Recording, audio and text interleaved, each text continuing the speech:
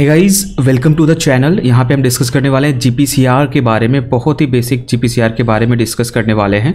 तो try to understand here कि ये जो है, देखिएगा, एक डोमेन दो domain three four five six seven so there is a ligand binding domain this is ligand binding loop N terminus is there and this is the G protein binding loop this is the G protein binding loop internal जो loop है, ये यहाँ पे है। So this is serpentine seven transmembrane domain is there this is seven transmembrane pass as you can see in the diagram. This is alpha helical structure. Seven transmembrane alpha helical structure is there. 20 amino acid present in the hydrophobic domain. In this hydrophobic domain there is 20 amino acid in this in this hydrophobic domain. Now this is the G protein. When you talk about G protein is very important. As you know that GPCR is also known as G protein coupled receptor. This is plasma membrane and this plasma membrane this is a cytosolic domain where this particular three sections of alpha, beta and gamma of G protein G protein types. G protein is divided into the three domains that is alpha, beta and gamma. Alpha domain having the RAS domain, SS2 domain binding domain and it having the GDP binding domain, AH domain also. B protein is associated with the gamma which is required for the correct assembly for the G alpha. So G protein is heterotrimeric.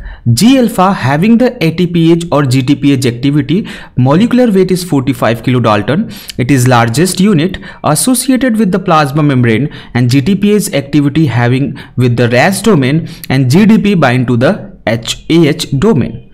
G beta is like 37 kilodalton molecular weight. It is a medium like medium unit and it is required for the correct assembly. G gamma is the smallest having the molecular weight 9 kilodalton and it is associated with the plasma membrane. Now let's try to understand with the gpcr signaling with the animations this is the 7 transmembrane domain having the external loop 1 2 3 and internal loop 1 2 3 that ligand will bind to the external loop 3 the external loop 3 the ligand bind to the external loop. And after that this particular g protein this i3 yeah, internal loop 3 acts as a guanine exchange factor with the g alpha protein. Initially, G alpha subunit binded with the GDP at the AH domain, but this I3 domain which acts as a GEF guanine exchange factor replaces this GDP by the GTP.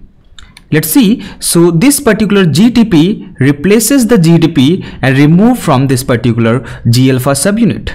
Now this G alpha subunit is activated and will go for the effector molecule. Let's see here this particularly G alpha subunit as I told you that G protein is there where GTP is bounded to the G alpha subunit. This G alpha subunit like move from here to the adenylate cyclase effector molecule. This adenylate cyclase convert the ATP into the cyclic AMP. Cyclic AMP is also known as cyclic adenosine monophosphate which is a secondary messenger in GPCR pathway.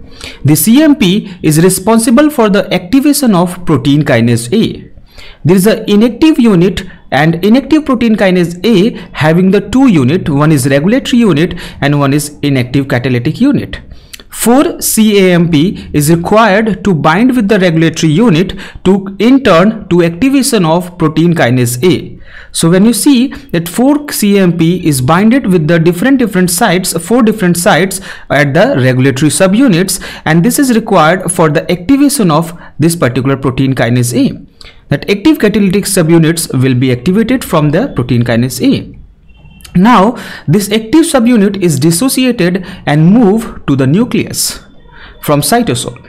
This particular active uh, subunit because it has a protein kinase property that phosphorylated property it phosphorylated the CEB, CREB that is a CAMP response element binding protein protein kinase A phosphorylated CREB after the phosphorylation CBP bind to the CREB CREB after the binding of CBP to the phosphorylated CREB, they bind to the complete CRE element on the DNA. CRE is a CAMP response element. So they will go and bind to the CRE element.